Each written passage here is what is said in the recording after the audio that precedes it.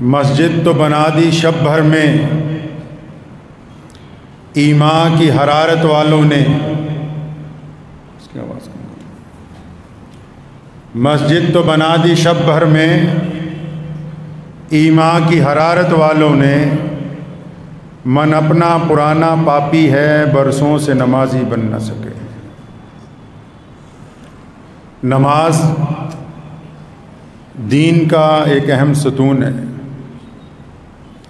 नमाज़ बंदे और रब के दरमियान एक मज़बूत ताल्लुक़ का नाम है। नमाज़ वक्त की पाबंदी का दर्स देती है। नमाज़ नीयतों में इखलास पैदा करती है। नमाज़ कौम में इत्तफाक का ज़रिया है।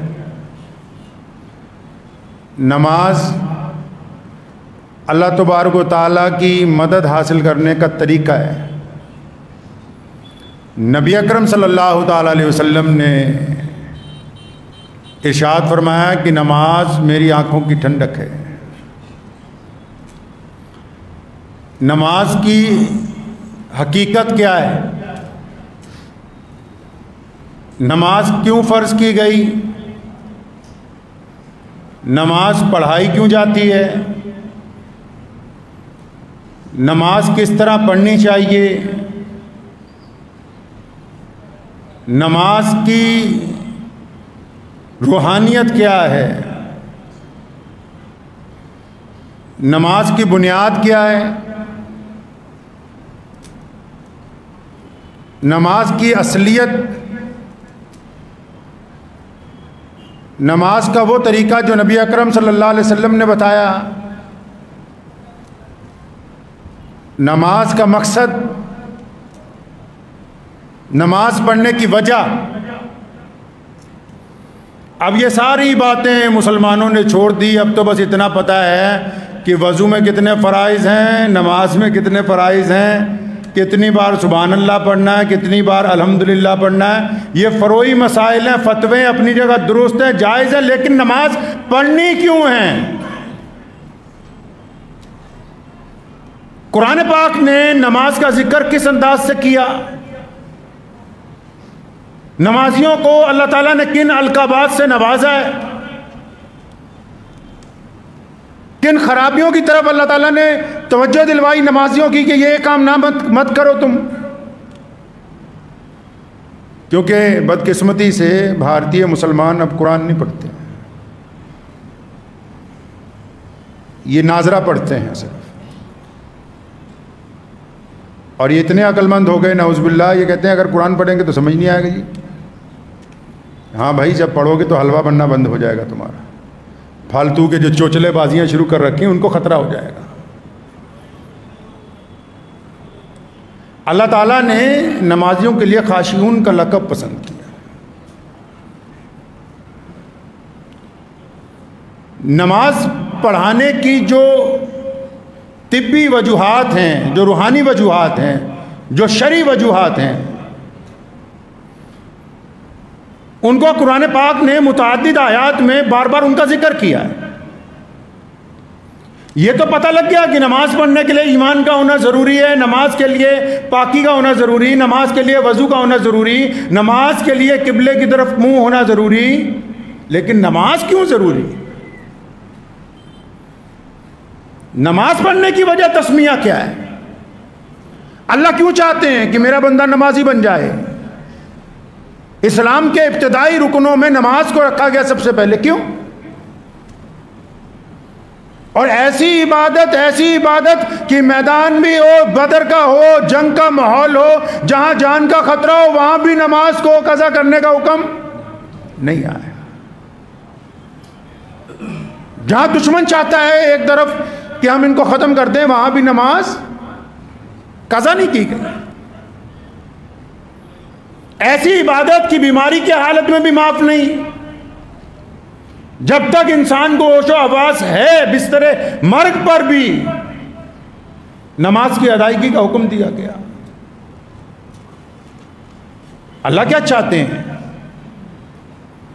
अल्लाह तबारक ताला की मंशा क्या है? नमाज़ क्यों पढ़नी है? मैं अक्सर जगह जाता हूँ, लोगों से पूछता हूँ अच्छे अच्छे बूढ़ों से पूछता हूँ, बड़ों से पूछता हूँ, भाई, नमाज़ क्यों पढ़ रहे हैं आप और नमाज़ तो इस्लाम की शान है, बंदे की, बंदगी का मज़ा ही नमाज़ के अंदर है, बंदा बनता ही बंदगी के साथ है।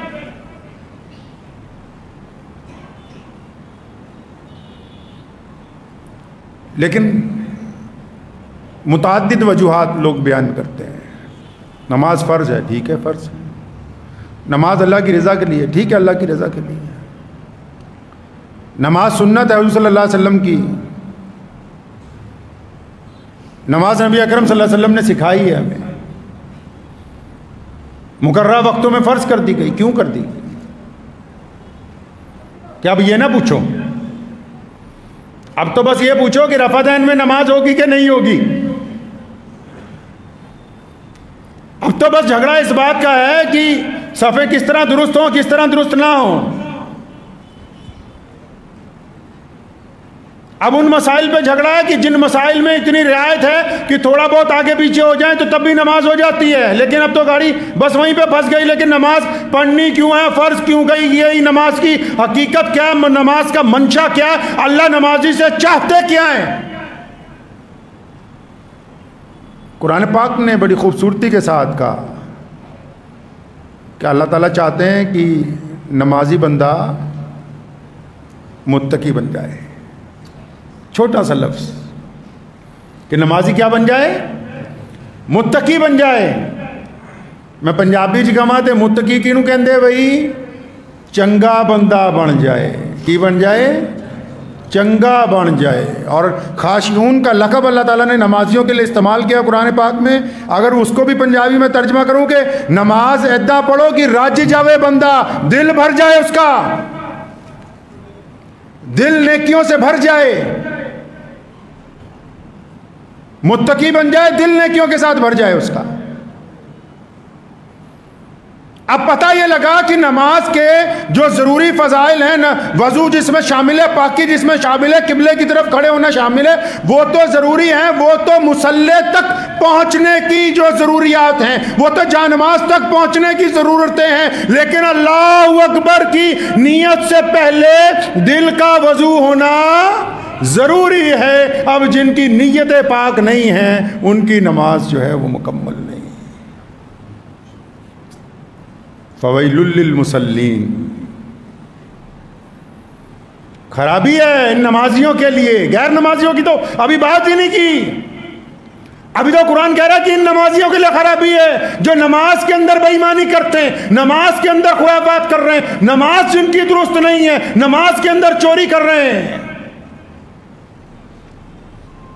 एक साहबी रसूल नबी सलाम मस्जिद नबी में तशरीफ़ फरमाए, वो आए, उन्होंने नीयत बांधी, नमाज़ पढ़ी, नमाज़ पढ़ के नबी सलाम को जब सलाम पेश किया, फरमाया, दोबारा नमाज़ पढ़ के आओ। फिर गए, नमाज़ पढ़ी। फिर आए रसुल्ला ने फिर कहा, दोबारा पढ़ो। दूसरी बार पढ़ी, फिर आए रसुल्ला ने फिर कहा, तिबारा पढ़ो। तीसरी बार पढ़ के आए। रसुल्ला ने फिर कहा, चलो वापस, फिर नमाज़। बड़ी आजी से अर्ज़ की यारसुल्ला मुझे तो आती नहीं। किस तरह पढ़ूं? मोहम्मद रसुल्ला ने फरमाया, अल्लाह अकबर कह के, जब तक क्याम में तसल्ली ना हो जाए दिल को। हमारे यहाँ तो दो तीन तरह के नमाजी हैं ना जी? हमारे मुल्क में दो तीन तरह के नमाजी हैं। एक तो वो जो नमाज़ पढ़ते ही नहीं, ईद और जुमे की पढ़ते हैं। मेरे वाले साहब मरूम शेर इस्लाम, मौलाना अबूबान लुधियानवी रहमत के पास मैं हमेशा बैठता था तो एक साहब आए तो कहा, हज़रत, निकाह पढ़वाना आपसे ही। तो नमाज़ के लिए बड़े सख्त थे तो कहने लगे, प्यारे, तू तो नमाज़ नहीं पढ़ता। पर मैं हज़रत, नहीं नहीं, मैं तो ईद की, ईद आपके पीछे ही पढ़ता हूँ। मैं ईद की नमाज़ हमेशा आप ही के पीछे पढ़ी, किसी और के पीछे पढ़ी नहीं आज तक। हमारे यहाँ एक तो वो तबका है जो नमाज़ पढ़ता ही नहीं और दूसरा वो तबका है जो आधी पढ़ता है आधी अब इसमें आधी वो नहीं कि फ़र्ज़ पड़े, सुन्नतें पड़ी नहीं नहीं नहीं। इसमें आधी वो है जो फजर घर में सोते हैं ज़ोर असर, मगरिब न मस्जिदों में होते हैं, ईशा फिर छोड़ देते हैं। आधी पढ़ते हैं आधी पढ़ते ही नहीं। और तीसरे वो चोर डाकू हैं जो पढ़ते तो पाँच वक्त ही हैं, लेकिन ठुंगियाँ मार के फटाफट भागने की कोशिश करते हैं। जुमे में भी आप देखा करें, अक्सर मस्जिदों में कई लोग सबसे बाद में जुमा पढ़ने आएँगे और उनको पहले बाहर निकलने की होगी कि भाई किसी तरह निकल लें फटाफट। अल्लाह तबार को ताला ने इन्हीं नमाजियों को कहा कुरान पाक में। कि अपनी नमाजों को भुला बैठे, इनको पता ही नहीं नमाज़ पढ़नी कैसे पहली बात जो ये कही गई कि अल्लाह चाहते हैं कि नमाजी मुत्तकी बन जाए। क्या बन जाए जी? चंगा बंदा बन जाए अच्छा इंसान बन जाए। आप अच्छा किसको कहते हैं? मस्जिद के प्रधान को अच्छा कहते हैं आप? को बढ़िया कोई अच्छे बेहतरीन कपड़े वाला, बेहतरीन लिबास किसी ने पहन रखा हो, सिर पे पगड़ी बाँध रखी हो, अच्छी दाढ़ी रखी हो, वो अच्छा है? आपने अच्छे की तशरी क्या की है? जिसके पास गाड़ी महँगी हो जूते महँगे पहनता हो, घड़ी महँगी पहनता हो। आप अच्छा किसको समझते हैं जी? अच्छा बंदा कैसा होता है? अल्लाह तबारक ताला को नमाज़ की ज़रूरत हम पर इसलिए फ़र्ज़ कर दी क्योंकि अल्लाह चाहते हैं कि ये जो बंदे हैं, अल्लाह फरमाते हैं, जब मेरा बंदा क्याम करता है ना तो मैं फरिश्तों के सामने फ़कर करता हूँ कि ये देखो मेरे बंदे मेरे हजूर हाथ बाँध कर खड़े हुए हैं। आपने क्या समझा कि सिर्फ़ सिर्फ़ नमाज़ दो रकात की चीज़ है? चंद सजदे कर लेने का नाम नमाज़ है नहीं। रसूलुल्लाह सल्लल्लाहु अलैहि वसल्लम को सबसे प्यारी नमाज़ थी। आखिरी वक्त में भी उम्मत को बार बार कहा, देखो, नमाज़ ना छोड़ देना। लेकिन क्यों बार बार कहते हैं? क्योंकि रसूलुल्लाह सल्लल्लाहु अलैहि वसल्लम को भी पता है, अल्लाह तबारक ताली ने इसीलिए नमाज़ हमारे ऊपर फ़र्ज़ की गई। क्यों फ़र्ज़ की गई? क्योंकि अल्लाह चाहते हैं कि ये नमाज़ पढ़ने वाले लोग अच्छे बन जाएँ। अक्सर मैं लोगों को कहा करता हूँ भी अच्छा आप किसको समझते हैं? अच्छे कपड़े पहनना, अच्छी सवारी रखना अच्छा घर बनाना अच्छा कारोबार करना, अच्छी शक्ल हो जाना, ये अच्छा नहीं होता। जो अपने माँ बाप की इतात करता हो, वो अच्छा होता है। जो कारोबार में हलाल और हराम की तमीज़ बाकी रखता हो, वो अच्छा होता है। जो किसी की माँ, बहन, बेटी को देखने के बाद जिना का इरादा ना करता हो, वो अच्छा होता है। जो अपने बीवी बच्चों के साथ सिला रहमी से पेश आता हो, वो अच्छा होता है। जो अपने पड़ोसी के साथ भाइयों का ताल्लुक रखता हो, वो अच्छा होता है। जो जालिम के खिलाफ मजलूम की मदद करता हो, वो अच्छा होता है। जिनकी नीयतों में दोगलापन ना हो, जो सामने कुछ हो, पीछे कुछ हो, वो जितने मर्ज़ी अच्छे कपड़े पहन ले, वो अल्लाह के नज़दीक अच्छे नहीं हो सकते वो लोग। आप नमाज़ के मकसद को तो समझे, नमाज़ की वजह तस्मिया को तो समझिए आप। कि नमाज़ तो इसलिए फ़र्ज़ की गई, अल्लाह नमाजी को अच्छा बनाना चाहते हैं। अब एक बंदा नमाज़ भी पढ़ता है, झूठ भी बोलता है, नमाज़ भी पढ़ता है, जिना भी करता है, नमाज़ भी पढ़ता है, शराब भी पीता है, नमाज़ भी पढ़ता है, हया, बेहयाई भी करता है, नमाज़ भी पढ़ता है, बदमाशी भी करता है, उसको खुद पता होना चाहिए कि ये नमाज़ नहीं हो रही। ये नमाज़ नहीं है। कुरान ने कहा कि ये रियाकारी कर रहा है, ये दिखा दिखा के नमाजें पढ़ रहा है, ये इसके मुँह पर मारती जाएगी ये नमाज़। ये नमाज़ नहीं है। मैं एक दफ़ा यहाँ करीबी एक शहर है, वहाँ नमाज़ पढ़ी, मैंने ज़ोर की तो इमाम साहब ने 20 मिनट में नमाज़ पढ़ाई। मैं नमाज़ पढ़ती उनको पूछा, भाई, क्या आफत आ गई? अगर ये मुतवली कहता है, बड़े आराम आराम से नमाज़ पढ़ो। क्योंकि ये मुझे नौकरी से निकाल देगा, इसलिए फिर मैंने सोचा, खूब इतमान से अल्लाह के बंदे, जो बंदा मुसल्ले पर खड़ा हो गया, उसको तो बड़ी नमाज़ पढ़ाने की इजाज़त ही नहीं है। पीछे बच्चे भी हैं, बूढ़े भी हैं, बीमार भी हैं, तंदुरुस्त भी हर तरह के लोग हैं। इसीलिए तो हुक्म हुआ कि हल्की फल्की नमाज़ पढ़ाओ, जिसने अपने नफिल पढ़ने, रात को तजदे पढ़नी, सारी रात क्याम करता रहे, उसको किसी ने नहीं रोका। नमाज़ के ज़रिए किसी को अजियत नहीं दी जा सकती, तिलावत के ज़रिए किसी को अजियत नहीं दी जा सकती। नमाज़ का मकसद जो है तकबीर तहरीमा समझते हैं ना? नमाज़ में पढ़ते हैं, उसका मतलब क्या होता है? तहरीमा का मतलब अब हराम हो गया सब कुछ।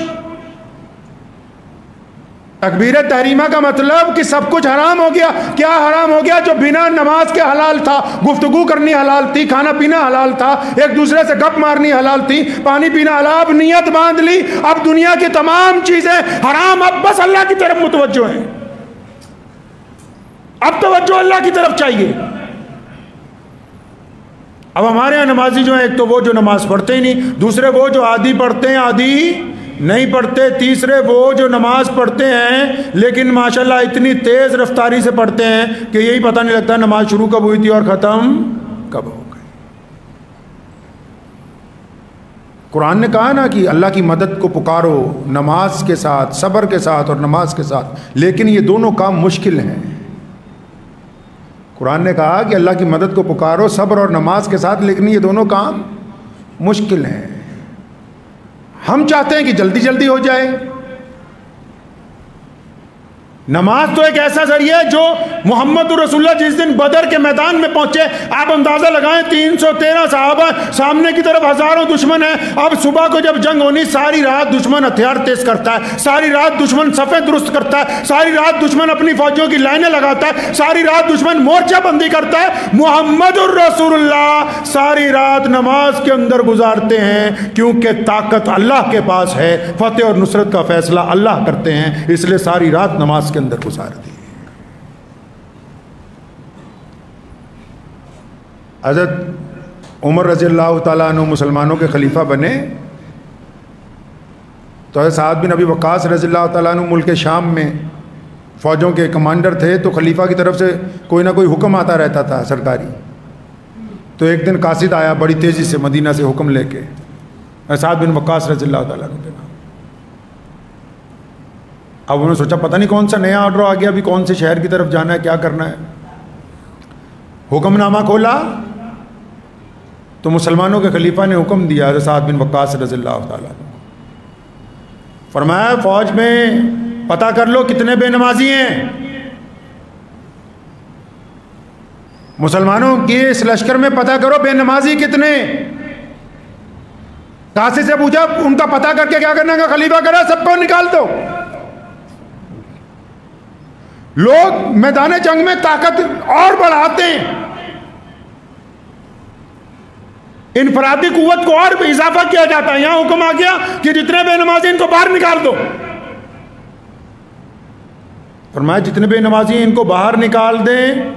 आगे हज़रत उमर रज़ी ने जो बात लिखी, आप जर से लिखने के काबिल है। लिखा हज़रत साद बिन वक़ास रज़ी अल्लाह तु को, फरमाया, साद, इन तमाम बेनमाजियों को बाहर निकाल दो और याद रखो कि जो बंदा अपने रब का वफादार नहीं हो सकता, वो तुम्हारा वफादार नहीं होगा। जो अपने रब का वफादार नहीं, वो तुम्हारा वफादार नहीं हो सकता। नबी अकरम सल्लल्लाहु अलैहि वसल्लम ने बार बार तलकीन फरमाई, नमाज़ सफ़र में कसर है, मैदान जंग में कसर से भी कसर। चार की दो कर दी सफ़र में, मैदान में दो की भी एक रकात कर दी, लेकिन नमाज़ पढ़ने का हुक्म बाकी रखा ताकि अल्लाह की मदद नमाज़ के साथ आती है। लेकिन उन नमाजियों के लिए नहीं साथ में, जो हो ही बुजदिल। वो सोच रहे हो कि सिर्फ़ बस जो अल्लाह के अलावा दुनिया से डरते रहें, उनकी नमाजें नहीं हैं। जिनके दिलों में खौफ बैठ गया नमाज़ तो इस बात की अलामत है कि मैं अपने रब की मदद के साथ अब बाहर निकलूँगा, अपने रब की मदद के साथ अपने आप को गुनाहों से रोकूँगा, अल्लाह की मदद के साथ अपनी आँखों में शर्म हया पैदा करूँगा, अल्लाह की मदद से मेरी ज़ुबान दूसरों को तकलीफ़ नहीं पहुंचाएगी, अल्लाह की मदद से अगर कोई बंदा किसी मजलूम पर जुल्म करेगा तो जालिम के खिलाफ सीना सपुर होकर खड़ा हूँगा अल्लाह की मदद के साथ मैं गरीब लोगों का साथ दूँगा। नमाज़ इस बात की अलामत है कि नमाजी बंदा बेखौफ होता है नमाजी बुजदिल नहीं होता। नमाजी के लिए ज़रूरी है कि उसका किरदार ये कहता हो कि ये नमाज़ पढ़ रहा है। नमाजी धोखा नहीं दे सकता, नमाजी बेईमानी नहीं कर सकता, नमाजी ठगी नहीं मार सकता, नमाजी जिना नहीं कर सकता, नमाजी की अलग से शराब के कतरे नहीं उतर सकते। अगर कोई नमाज़ पढ़ने के बावजूद इन गुनाहों को कर रहा है तो वो दिल की तख्ती पे लिख ले कि वो नमाजी नहीं है, वो एक तमाशा कर रहा है, वो भी अपने साथ कर रहा है। अल्लाह तबारक ताला को ऐसे लोगों की नमाज़ की कोई ज़रूरत नहीं है। जो दूसरों को दिखाने के लिए नमाज़ पढ़ना चाहते हैं, दूसरों को जतलाने के लिए नमाज़ पढ़ना चाहते हैं, या जो दूसरों के ऊपर अपनी बर्तरी साबित करने के लिए नमाज़ पढ़ना चाहते हैं। ये नमाज़ की रूह है, मैं मानता हूँ तमाम कलमात नमाज़ के सीखना फ़र्ज़ है, लेकिन ये नमाज़ की रूह है, जब तक रूह की तकमील ना हो जाए, जब तक बंदा अल्लाह के हजूर खड़ा होने के बाद ये समझ ना ले कि मैं अपने रब के हजूर खड़ा हो गया हूँ, अब मैं हूँ, मेरा रब है। तब तक नमाज़ कामिल नहीं होती। नमाज़ अपने मैार को नहीं पहुँचती है। नमाज़ कोई मामूली इबादत है जी? पूरी दुनिया में इस्लाम की पहचान है नमाज़। मस्जिदों की रौनक नमाज़ से कायम है। इस्लाम की अजमत नमाज़ की वजह से कायम है। जितनी भी पूरी दुनिया के अंदर चले जाएँ, मुसलमानों के अंदर जितनी नेकियाँ, जितना खुशबू और वज़ू नज़र आता है, वो नमाज़ की बदौलत नमाज़ को अल्लाह तबारक ताला की रज़ा के लिए, अल्लाह की खुशनूदी के लिए ही अदा किया जा सकता है। नमाज़ को दिखावे के लिए अदा नहीं किया जा सकता है। नमाजी का अच्छा होना पहला पहला फ़र्ज़ है, पहला रुकन है। नीयत बांधने से पहले, कई लोग नीयत बांधते हैं, आजकल हमारे यहाँ मशीन आ गई है, मोबाइल जिसको बोलते हैं। अब मस्जिद में अगर किसी का मोबाइल बच जाए नमाज़ में मेरे वालिद साहब शेर इस्लाम मौलाना हबीबुररहमान लुधियानवी रहमतुल्लाह मुझे एक दिन पूछने लगा कि अगर मस्जिद में किसी का मोबाइल बच जाता है तो तुम क्या सोचते हो मैं कहा मैं सोचता हूँ जेब में हाथ डाले फ़ोन बंद कर दे तो मैंने आप क्या सोचते हो भाई ਅੱਜ ਇੰਨੀ ਮਸਜਿਦਾਂ ਦੇ ਸਾਡੇ ਪ੍ਰਧਾਨ ਹੈ ਪੂਰੇ ਇੰਡੀਆ 'ਚ ਤੇ ਜਿਹੜੇ ਵੱਡੇ ਵੱਡੇ मौलवी मुफ्ती सारे तो नहीं इनकी मस्जिद में अगर मोबाइल बच जाए ना तो बस फ़ौरन नीयत बांधे बांधे ये नीयत कर लेते बस सलाम फेरते ही इसका रगड़ा फेरना आज। नीयत बांधे बांधे ही अगली नीयत भी कर लेते हैं साथी में। कि बस सलाम फेरते ही पहले आज इसका जनाजा निकालें, इसका रोज़ फ़ोन बचता है। तो मैंने अपने वालिद साहब रहमतुल्लाह अलैह से पूछा कि आप क्या सोचते हैं? फरमाने लगे कि मैं ये सोचता हूँ बेटा कि जो बंदा मेरे साथ नमाज़ पढ़ रहा है क्योंकि अक्सर मस्जिदों में मोहल्ले के लोग ही नमाज़ पढ़ते हैं, एक दूसरे को जानने वाले पढ़ते हैं। तो फरमाते, मुझे कहने लगे कि मैं ये सोचता हूँ कि अगर किसी का फ़ोन बचता है तो मेरे दिल में ख्याल आता है कि अल्लाह ताला ये जो घंटी बजी, खैर वाली हो, परेशानी वाली ना हो। क्योंकि घर वालों को तो पता ही है, ईशा पढ़ने आया है, फजर पढ़ने आया है। जो घंटी बजी है, खैर वाली हो, या तो हमारी तो फ़ोन की घंटी भी तय कर देती है कि हम नमाज़ हमारी कबूल हो रही है या नहीं कबूल हो रही घंटी बजने पे जिनका इरादा अपने भाई को जलील करने का है, अपने भाई को परेशान करने का है तो उनकी नमाजें तो एक मोबाइल की घंटी भी तय कर रही है कि तुम अल्लाह ताला के हजूर खड़े हो और तुम्हें यही नहीं पता कि तुम नमाज़ में खड़े हो और एक घंटी ने तुम्हारी नमाज़ मुतासर कर दी है। कैस के आगे, कैस गुजर गया ना किसी के आगे से? कैस को जानते हैं? मजनू मजनू गुजर गया किसी नमाजी के आगे से, बहुत आगे से गुजरा तो उस नमाजी ने सलाम फेरते ही जाके मजनू का गिरबान पकड़ लिया। मजनू अरब का रहने वाला था, लैला का जो आशिक था। वो जब गुजरा ना आगे से तो भाग के उसको जाके पकड़ लिया नमाजी ने, कि तू कैसे गुजरा मेरे आगे से? तुझे पता नहीं मैं नमाज़ पढ़ रहा हूँ। तो कैस ने कहा, मजनू ने कहा उसे, उस नमाजी को, कहने लगा, यार, तू पता नहीं कैसी नमाज़ पढ़ता है। और मुझे तो लैला के इश्क में कोई नज़र ही नहीं आया। लैला के इश्क में कोई नज़र नहीं आया। अब तू पता नहीं कैसा अल्लाह से इश्क करता है कि तुझे इतनी दूर नमाज़ पढ़ते हुए मैं नज़र आ गया कि मैं तेरे आगे से गुजर गया हूँ। लोग नमाज़ भी पढ़ते हैं, दूसरों की नमाज़ का भी हिसाब रखते हैं। हमारे एक बड़े मियाँ थे, वो सलाम फेरते ही पहले दाएँ बाएँ पीछे तक दूर तक देखते थे। तो मैं बचपन में उनको मज़ाक में पूछा करता था कि, चचा, रजिस्टर तुम्हारे हाथ में तो नहीं, अल्लाह ने पकड़ा दिया किस किस की हाजिरी लगानी है? जिनकी अपनी नमाजें नहीं होती जिनको खुद नहीं पता कि इस्तिंजा कैसे पाक करना है। वो दूसरों को नसीहत करते फिरते हैं कि तू इस सब में खड़ा हो। तुम्हारे जिम्मे नसीहत नहीं लगा रखी अल्लाह ने। ये मेंबर बनाया है, जुम्मे को हर मस्जिद के अंदर इमाम की ज़िम्मेदारी लगाई कि अपनी कौम को नसीहतें करता फिरे। हर एक को जज नहीं बना दिया अल्लाह ने। किसी को किसी की इज़्ज़त उछालने के लिए खड़ा नहीं कर दिया कि जब तुम्हारी मर्ज़ी आए, जिसके मर्ज़ी ऊपर तनकीद कर दो। होते कौन कहने वाले? इन बच्चों को कि तुम पीछे शोर मचा रहे हो? मस्जिदों में पीछे बच्चों का खेलना, मस्जिदों में नमाजों के दौरान पीछे बच्चों की आवाज़ें। आने का मतलब यह है कि ये बच्चे इस बात की गवाही दे रहे हैं कि आने वाली नस्लें इन दरो दीवार की हिफाजत के लिए तैयार हैं। आने वाली नस्लें तैयार हैं इस्लाम की हिफाजत के लिए। ये मस्जिद तक नहीं आएँगे तो कौन होगा जो कल को इन मसाजिद को आबाद करेगा? नमाजी को तो तमाम दुआओं से पहले, तमाम कुरान पाक की तिलावतें याद करने से पहले, तमाम दुआएँ से पहले, तमाम चीज़ें याद करने से पहले अपनी नीयत को दुरुस्त करना है। इमाम बुखारी रहमतुल्लाह ने लाखों हदीसें इकट्ठी की और जब बुखारी शरीफ की जल्द बंदी हुई, सबसे पहले एक हदीस को दर्ज कर दिया, फरमाया काल नबी अलैहि इन नमल अमाल बिनियात के अमल का दारो मदार तो नीयत के ऊपर टिका हुआ है। अमल का दारो मदार नीयत के ऊपर टिका हुआ है। अगर नीयत अच्छी है तो सब कुछ दुरुस्त है। नीयत दुरुस्त होनी चाहिए। आपको पता है ना कि अगर हम दूसरी रकात में गलती से दुरुशरी पढ़ लें, चार रकात की नमाज़ में तो इमाम आज़म रहमतुल्लाह ने सजदा साहब लाजमी कर दिया तो किसी साहब ने हज़रत इमाम साहब रहमत से पूछा था कि यार दूसरी रकात में अगर हम अतयात के बाद दुरुशरी पढ़ लेते हैं, अचानक याद आता है कि दो रकात और पढ़नी है तो पढ़ा तो दुरुशरीफ ही है, सवाब का काम है, आपने इस पर भी जुर्माना लगा दिया।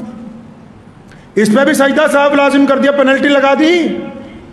इमाम साहब रहमतुल्लाह ने कमाल का जवाब दिया, फरमाया, वो दरूद पाक है। वो मोहम्मद वसल्लम के ऊपर दरूद भेजना है। वो मोहम्मद रसूलुल्लाह कौन है? अल्लाह फरमाते सोनिया, लोकी मेरे ना दियाँ कसमें खाते हैं तो मैं तेरे ना दियाँ कसमां खाना लोग अल्लाह के नाम की कसमें खाते हैं और अल्लाह मोहम्मद रसूलुल्लाह को ताहा, यासीन अल्लाह तबारक मोहम्मद रसूलुल्लाह का कहते हैं। इमाम आज़म ने फरमाया, दरूद पढ़ना सवाब का काम है, लेकिन रसूलुल्लाह पर दरूद बिना नीयत के अचानक पड़ा मतलब वो ताजीम नहीं हुई, वो अजमत नहीं आई, इसलिए सजदा सैफ लाजिम करार दे दिया गया।